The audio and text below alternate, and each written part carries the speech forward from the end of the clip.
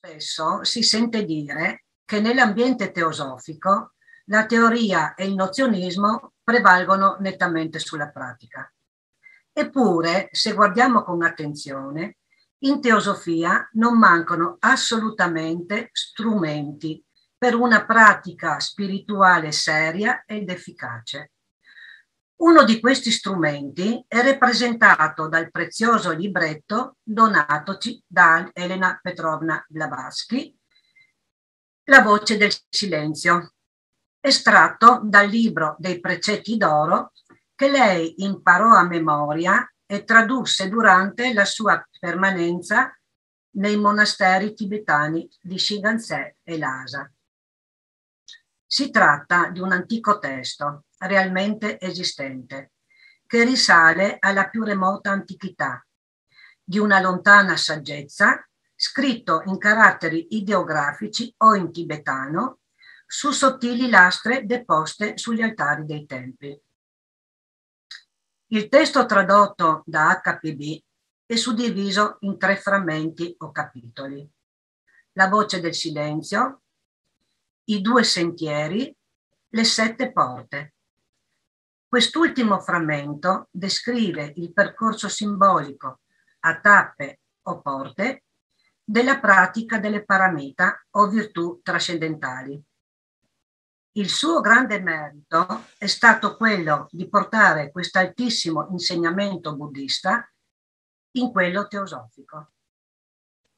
Dunque, le paramita o perfezioni sono un insegnamento buddista in particolare del buddismo mahayana, che lavora sulle motivazioni e che è destinato all'uso diretto nella vita di ciascuno, da mettere in pratica nella vita di tutti i giorni e sono qualità che si manifestano in area fisica. Sono azioni virtuose illuminate dalla conoscenza superiore o prasna e trascendono sempre i concetti del sé e dell'altro da sé, sviluppando l'amore che porta ciascuno a superare il livello personale rendendolo libero. Nel dizionario buddista di Philippe Cornu troviamo scritto senza lo sviluppo della prasna mediante lo studio e la pratica congiunti non si può parlare di paramita, ma solo di azioni ordinarie. Le paramita risultano infatti dalla visione della bodhicitta assoluta, la vacuità applicata all'azione.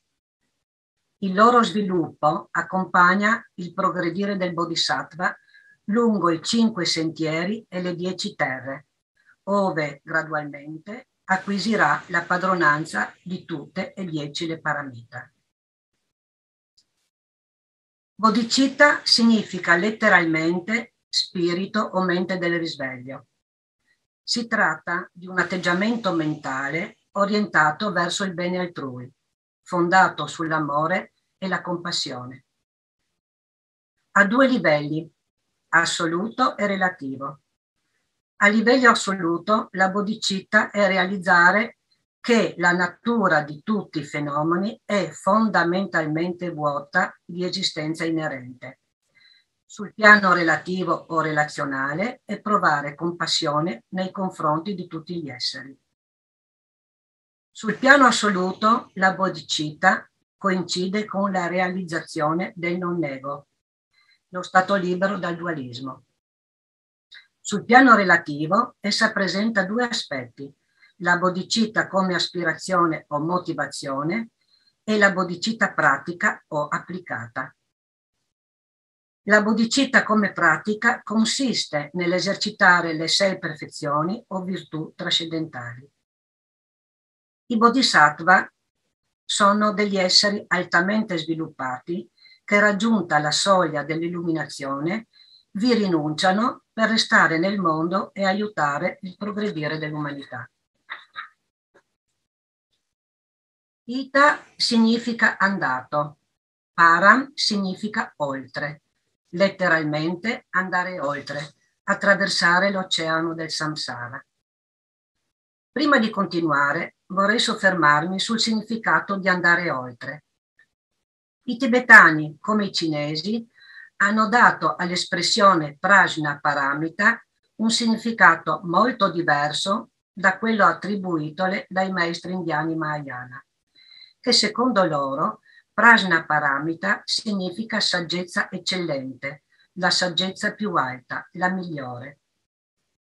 Anche se questa traduzione è grammaticalmente giusta, tibetani e cinesi l'hanno interpretata diversamente e le ragioni che inducono a sostegno della loro interpretazione sono altrettanto valide. Hanno quindi stabilito che paramita non è una sola parola, ma un'espressione composta da oltre oppure dall'altra parte e andare, param e ita. Da parte loro i cinesi traducono paramita con andare alla riva opposta.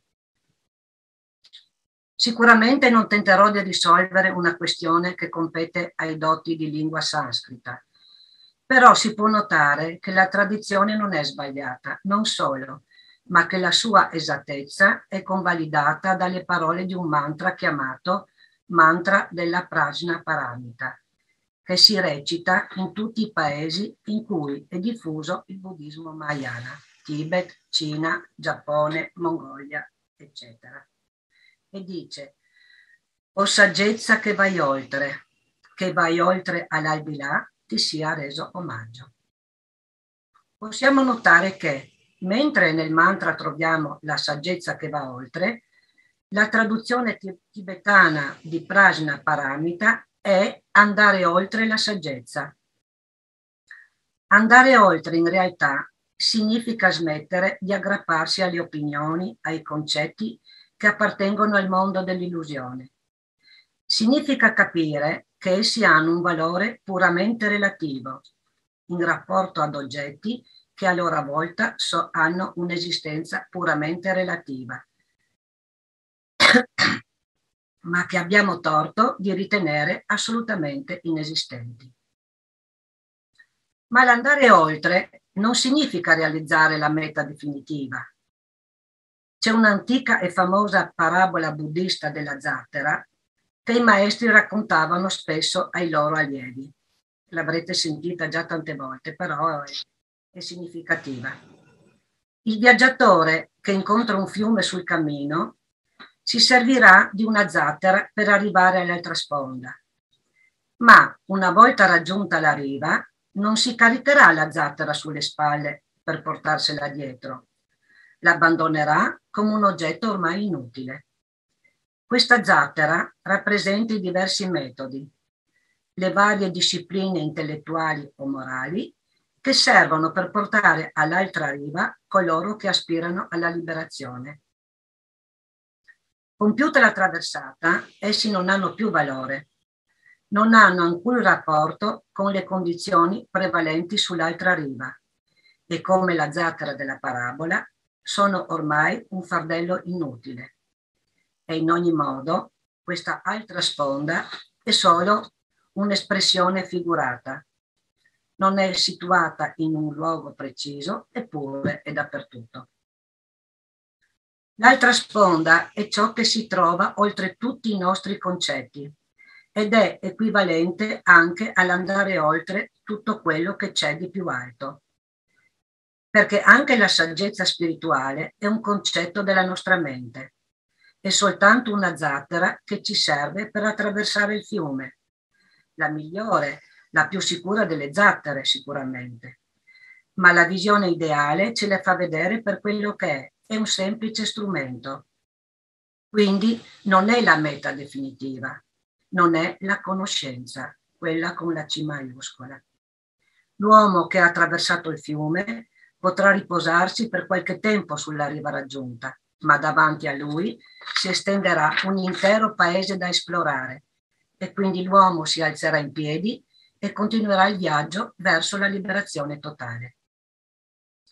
Il passaggio del fiume, l'arrivo all'altra sponda sono semplicemente tappe del viaggio. Tappe verso quale meta? Non siamo in grado di saperlo, almeno io non lo so.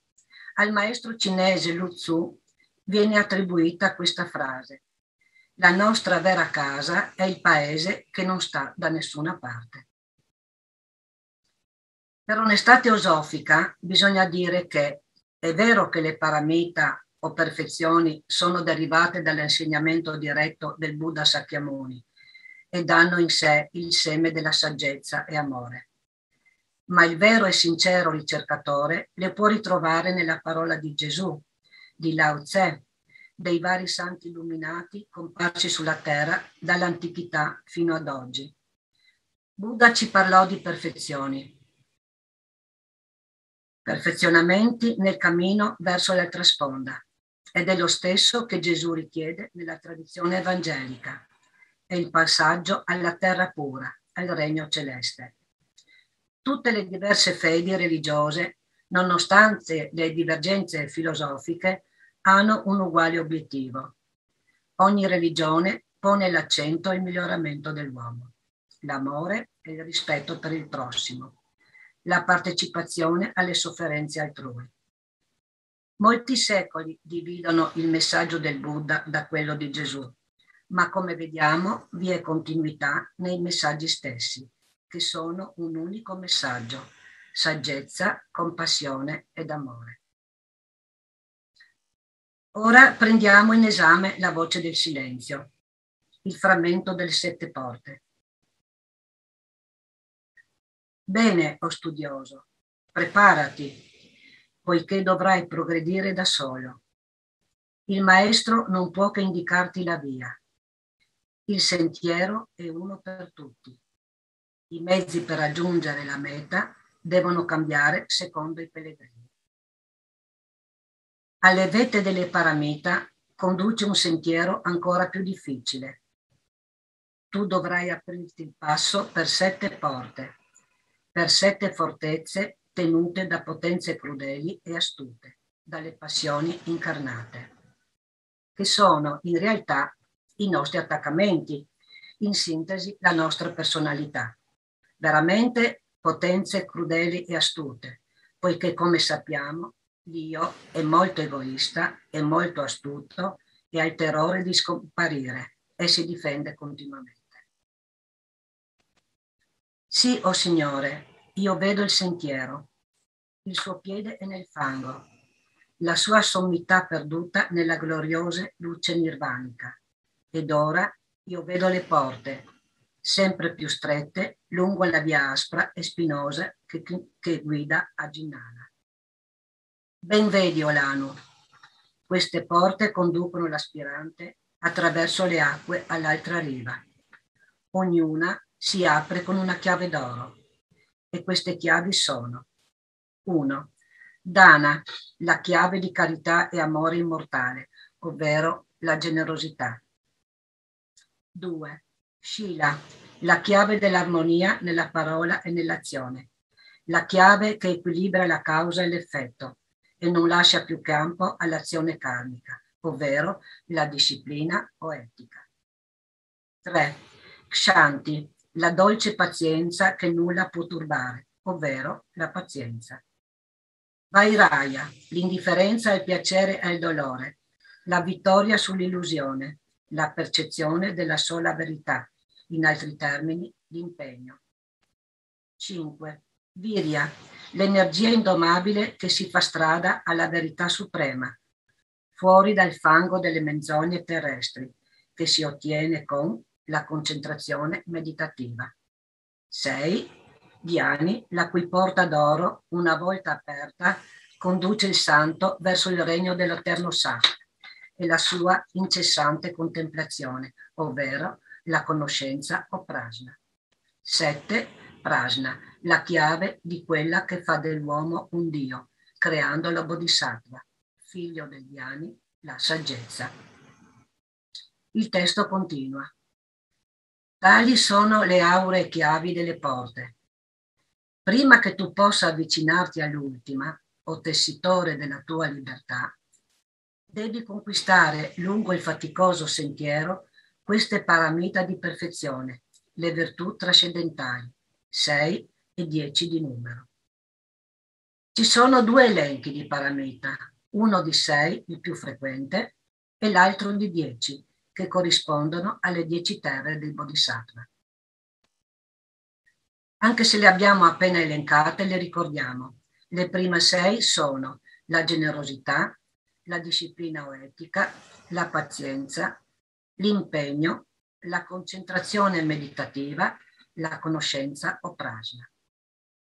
Le ultime quattro sono i mezzi abili, il voto, la forza, la saggezza primordiale.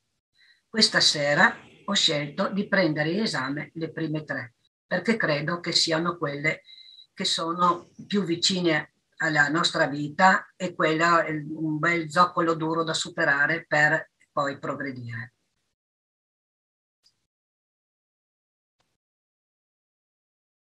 Il maestro dice, munito della chiave di carità, di amore e di tenera compassione, tu sei sicuro davanti alla porta di Dana, alla porta che sorge all'inizio del sentiero. Allora Dana, la generosità. Se fai la cosa giusta potrai cambiare il mondo. Punto. Quindi la generosità è la disponibilità di dare agli altri qualunque cosa sia necessaria. Il significato profondo di questa virtù è il dare, offrire, senza aspettarsi niente in cambio. Essere disposti ad accogliere gli altri nel nostro territorio, ad offrire ospitalità e ad apprezzare la loro esistenza e la loro presenza, senza ulteriori richieste. Non è una gentilezza verso chi pensiamo ci sia inferiore, è una bontà naturale che ci appartiene e che fa parte dell'armonia universale, dove la reciproca interdipendenza diventa mutuo sostegno e questo è un insegnamento perenne. Basta osservare la natura. La terra fiorisce grazie a quella che viene chiamata la circolazione senza fine della carità divina. Il vento sparge i semi, il sole fa evaporare il mare, il vento sospinge il vapore sul campo. La pioggia nutre la pianta, la pianta nutre l'animale. Anche le stelle seguono il loro corso grazie a un mutuo interscambio di energia.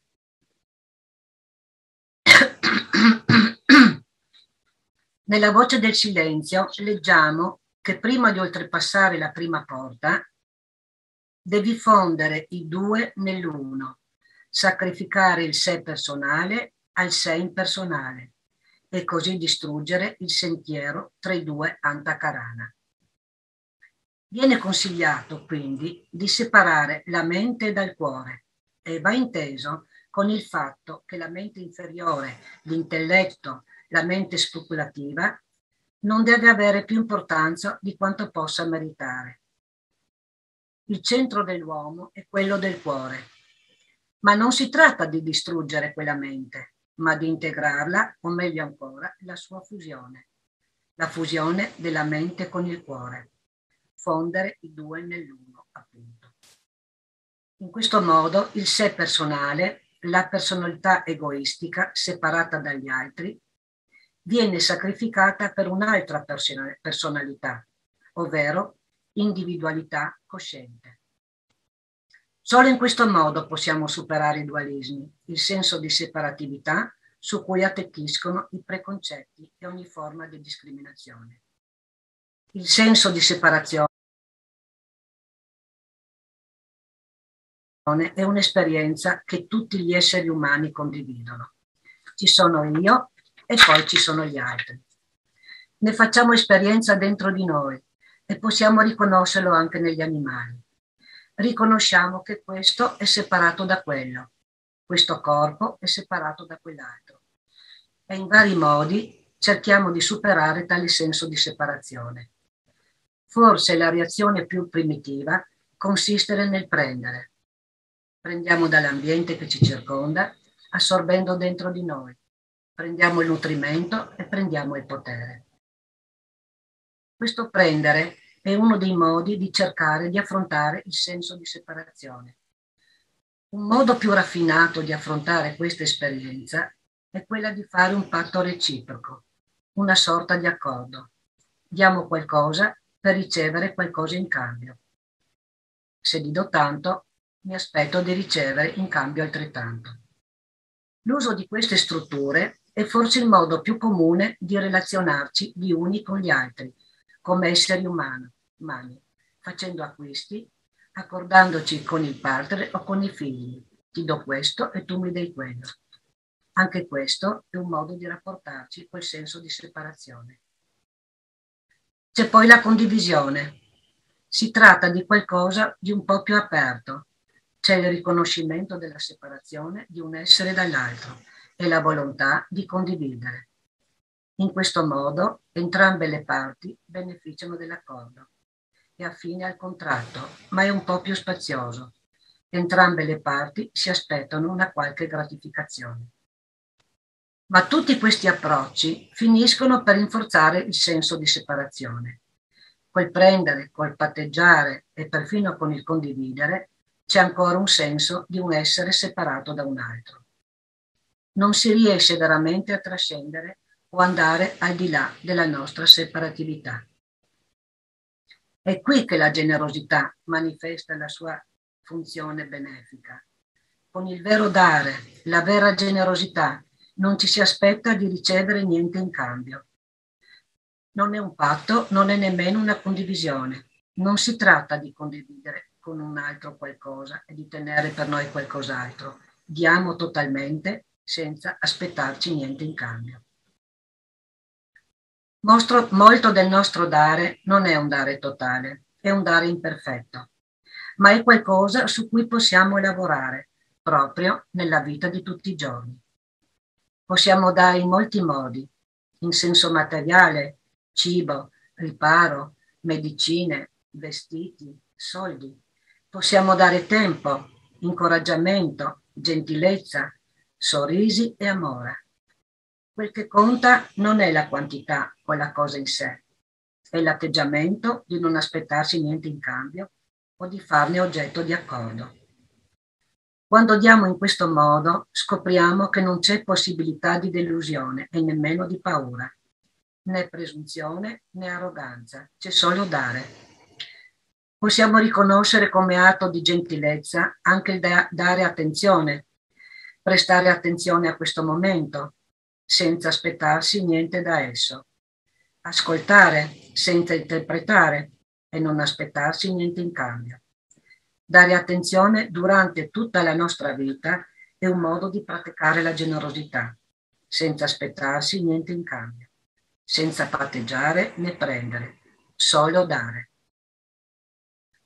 Come avrete notato, ho ripetuto molte volte senza aspettarsi niente in cambio, perché non è così semplice, perché in qualche modo ci aspettiamo sempre un ritorno.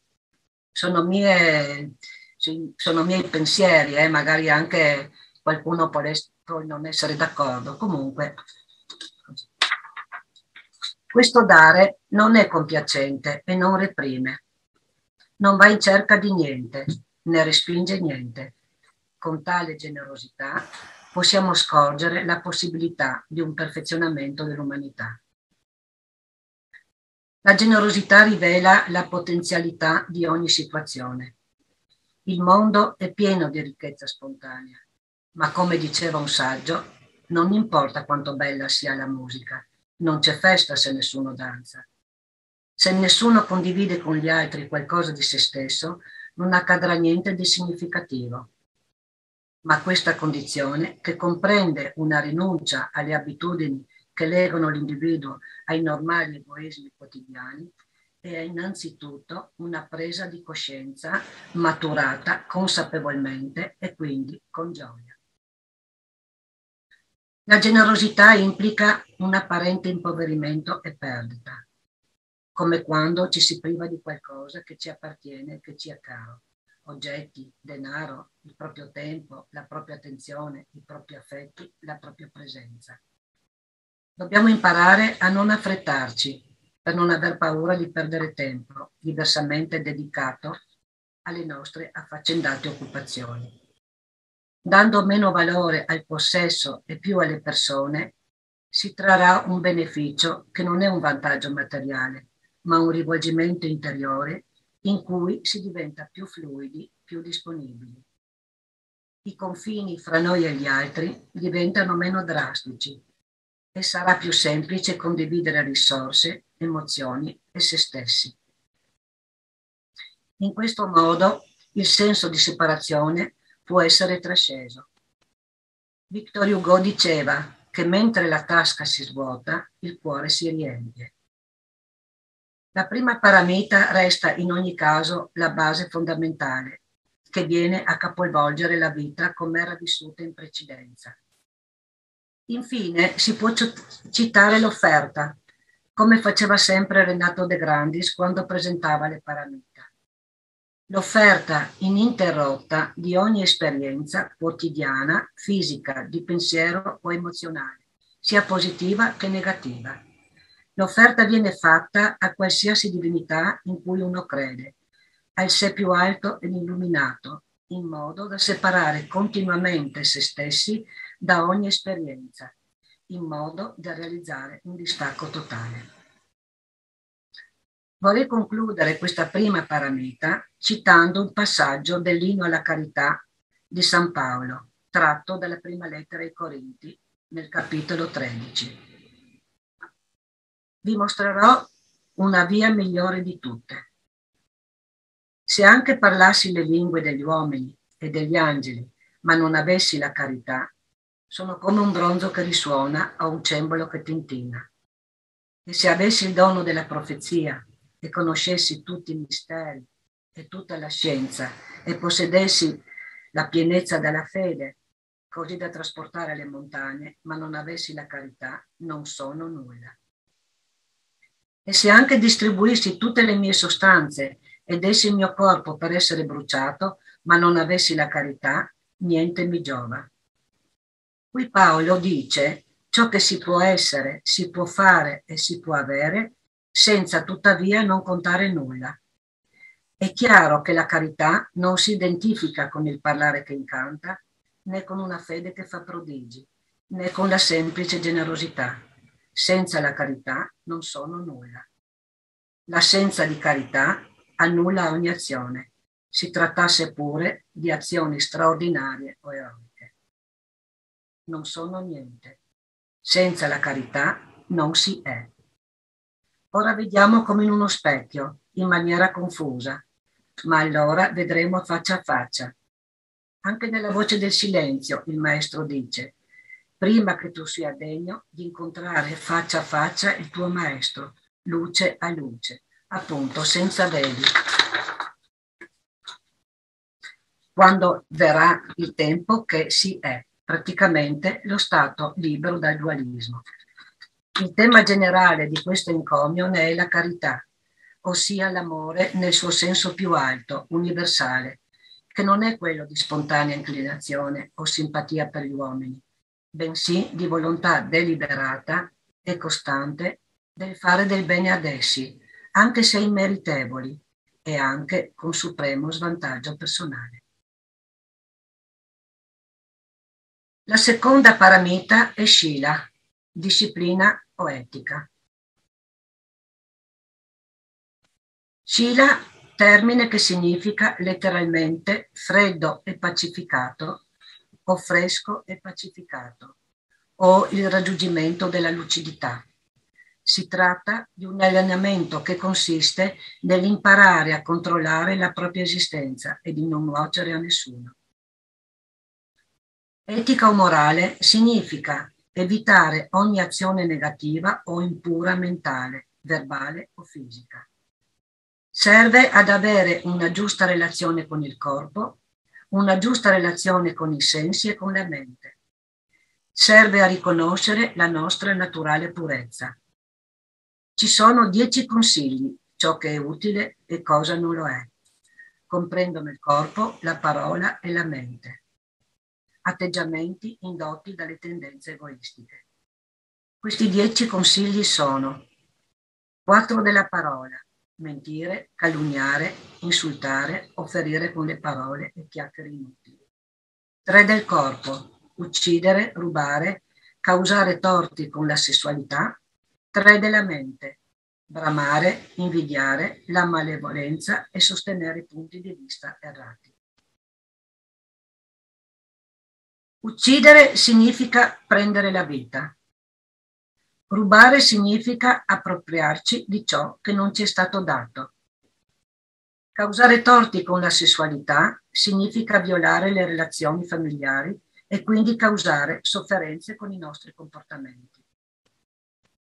Ai livelli del corpo, parola e mente, non è difficile capire cosa sia utile evitare. Quando le persone si sentono sole, di norma dicono cose che disturbano gli altri. Solitamente mentono con l'intento di danneggiare gli altri, spargono pettegolezzi, separano gli amici o confondono la gente. Se qualcuno è infelice, svilupperà la tendenza ad avversare gli altri, proverà invidia e permetterà a stati confusionali di prendere piede lentamente. All'opposto stanno le dieci azioni positive del corpo, della parola e della mente, che portano solo felicità e la mente diviene naturalmente chiara e calma. Bisognerebbe usare il proprio corpo come uno strumento per proteggere gli esseri, per dar loro amore e qualunque cosa abbiano bisogno.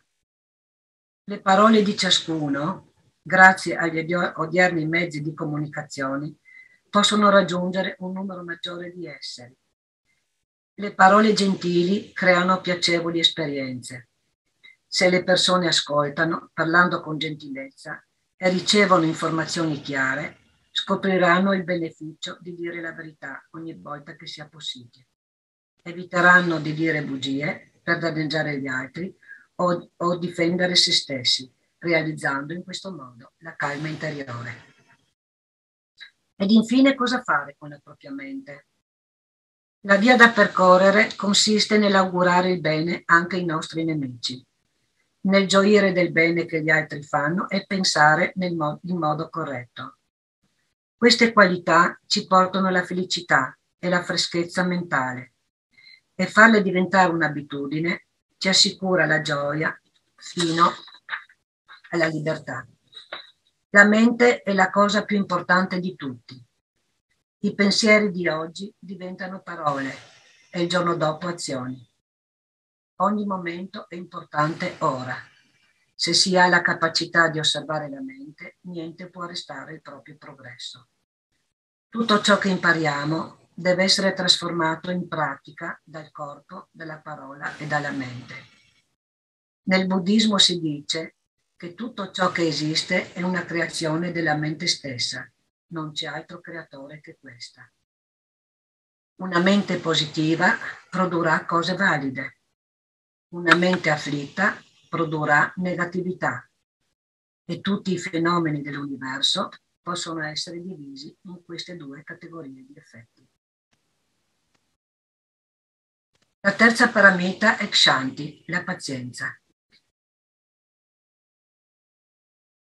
Guardati dal tremare, dice il maestro. Sotto il soffio dell'ira, della paura, la chiave di Kshanti arrugginisce e la chiave arrugginita si rifiuta di aprire. La successiva virtù è la pazienza. Veramente queste virtù non si possono dividere in pratiche nettamente separate. Una conduce all'altra, una incarna l'altra e sono un gruppo quasi unico in sé.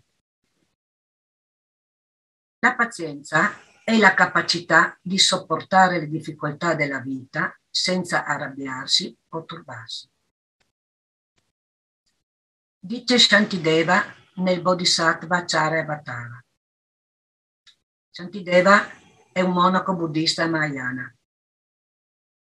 Per un solo istante di rabbia, qualsiasi azione virtuosa, come venerare il Buddha, la generosità che è stata accumulata in migliaia di eoni, sarà distrutta.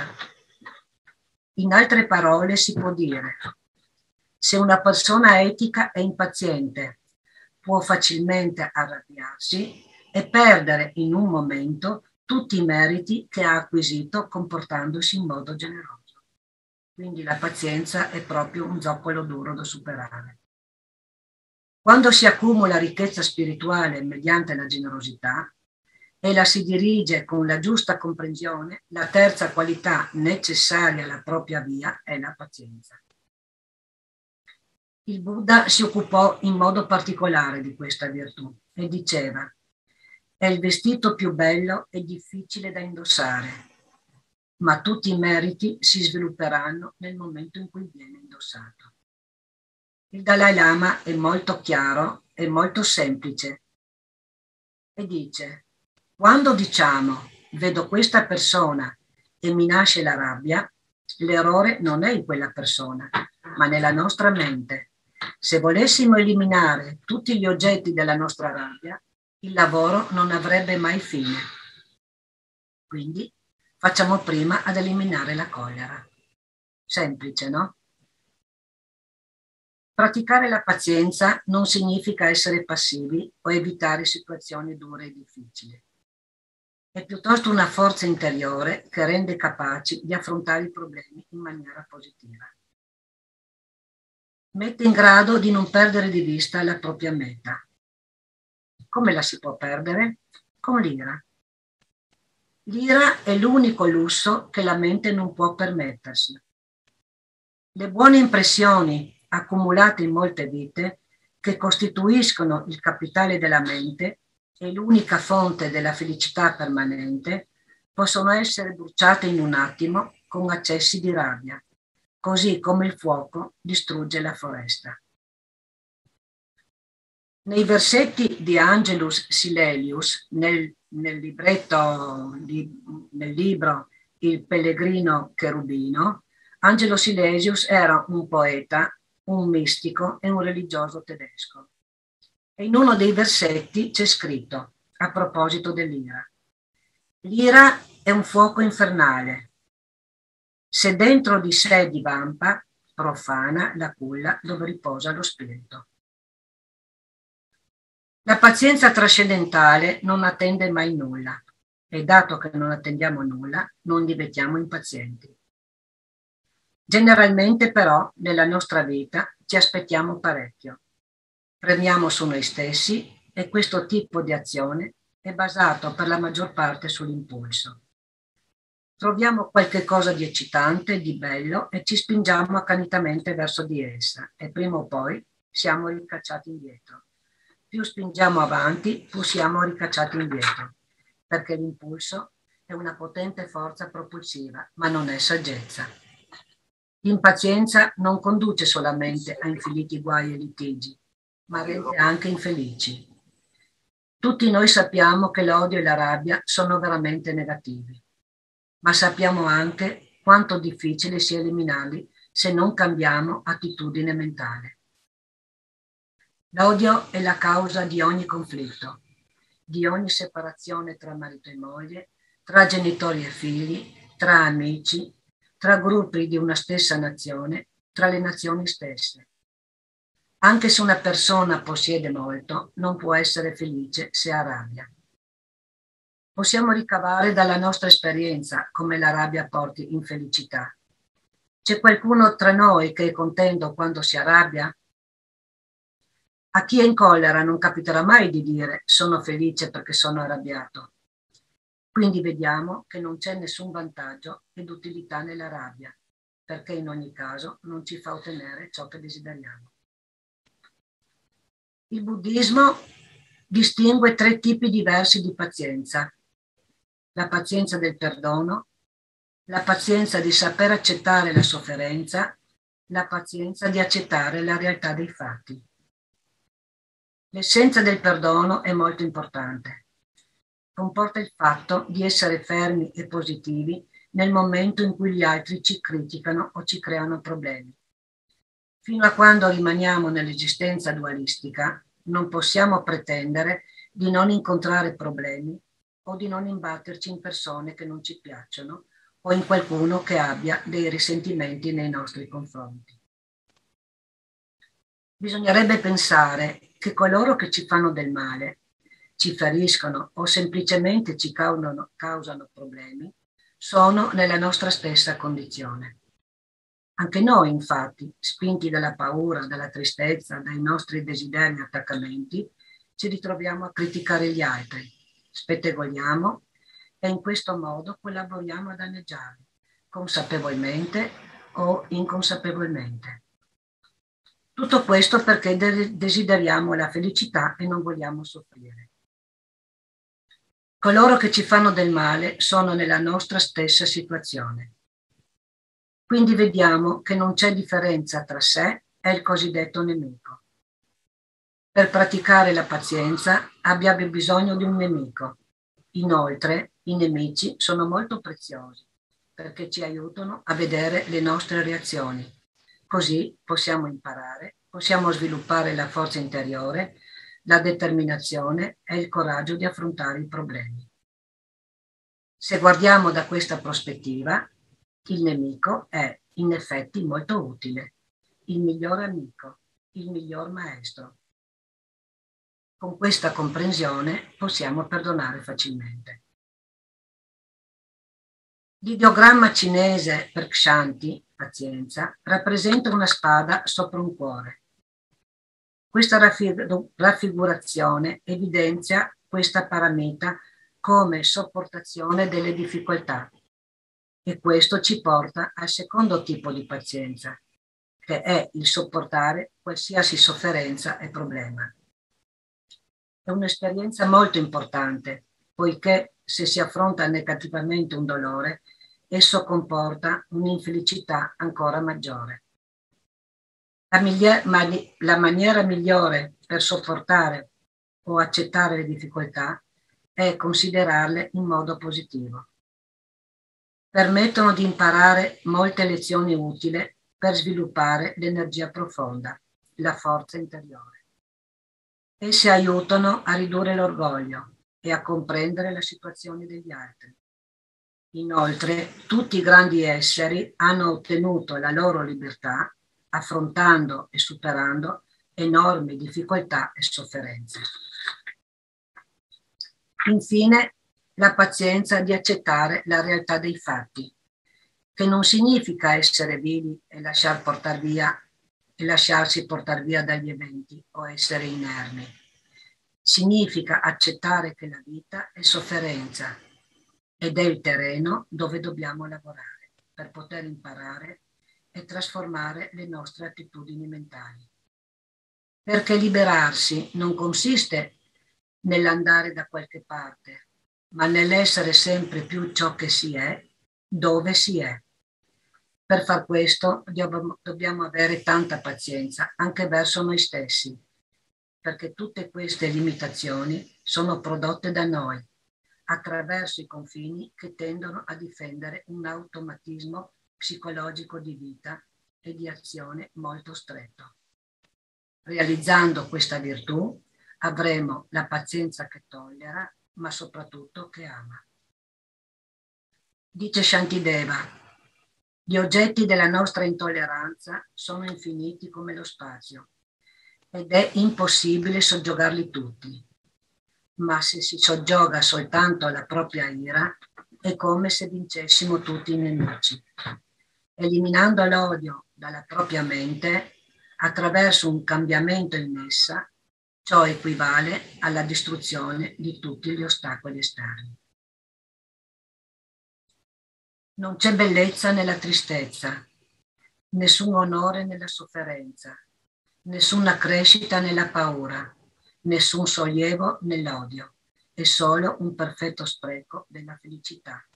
Caterina Stoikova Klemer è una poetessa bulgara. Queste parole mi sono molto piaciute. Dovremmo applicare queste virtù nella vita quotidiana. Non ha molta importanza credere o meno in un Dio, nel Buddha o altro. Quello che conta è una buona motivazione, la compassione senza dogmatismi. Solo comprendere che gli altri sono come noi e rispettare i loro diritti e la loro dignità. Il, poter, il poterci aiutare l'un l'altro è una delle nostre capacità unicamente umane. I grandi saggi spiegano che per essere eccellenti le virtù e la loro pratica devono diventare parti integranti del carattere di un individuo. devono essere inconsce, meccaniche, diventare veri e propri riflessi condizionati. Così soccorrere un essere che soffre deve essere un atto altrettanto spontaneo, altrettanto istintivo, quanto quello di ritirare velocemente la mano se per caso la si appoggia su un oggetto che scotta. In questo modo si verrà a formare ciò che è detto il corpo formale dell'uomo risvegliato, ovvero il corpo di gioia. Si tratta dei nostri corpi o piani, come le definisce la teosofia, che le paramita con le loro virtù vengono a purificare, ad alterare, a cambiare, vengono a sostituire gli elementi conflittuali che vi si trovano con altri positivi di utilità sia personale che soprattutto collettivo e sociale. La pratica del comportamento superiore, come abbiamo visto, è composto dalla triade di generosità, etica e pazienza, che formano un'unità di base. Generosità perché abolisce la povertà, etica perché porta alla disinvoltura, pazienza perché sopporta la durezza della vita. La comprensione di queste paramita induce a praticare quanto è suggerito dal Mahachohan in una sua e unica lettera del 1881. Egli scrive il vero teosofo è colui che ricerca disinteressatamente i mezzi migliori per far seguire al suo prossimo il buon cammino, conducendo ad approfittarne il maggior numero dei suoi simili. Lui alludeva alla fratellanza, ma nel senso profondo, vale a dire scoprire e attivare ciò che già siamo nella dimensione spirituale per poterlo manifestare nel quotidiano. Nel percorso evolutivo l'uomo deve realizzare il proprio perfezionamento spirituale. Ma la via per raggiungere questo obiettivo non è la via delle parole, è la via dell'azione e si progredisce unicamente attraverso l'azione. Una pratica condotta personalmente e concretamente nella vita reale, vale a dire per ciò che ci concerne, in seno alla società e a contatto con gli altri. Nella voce del silenzio leggiamo che quando hai oltrepassato la porta di Kshanti, la pazienza, il terzo, il terzo passo è fatto il corpo ti è schiavo. Accingiti ora alla quarta, alla porta delle tentazioni che insidono l'uomo interiore. E continua. Prima di poterti avvicinare a questa meta, prima di alzare la mano per togliere il chiavistello della quarta porta, devi essere diventato padrone di tutti i cambiamenti mentali che sono in te. Devi aver ucciso le legioni delle sensazioni e pensieri che sottili e insidiose si, si insinuano senza essere chiamati nel brillante santuario dell'anima. Quindi alla quarta porta si presentano le tentazioni che si trovano all'interno dell'uomo. Ma prima di oltrepassare questa porta è indispensabile essere padrone dei cambiamenti mentali, dice, dei pensieri che guidano le sensazioni che si insinuano nella mente, non richieste dalla coscienza. Per questo ci vuole impegno e in seguito meditazione concentrativa, birria e diana.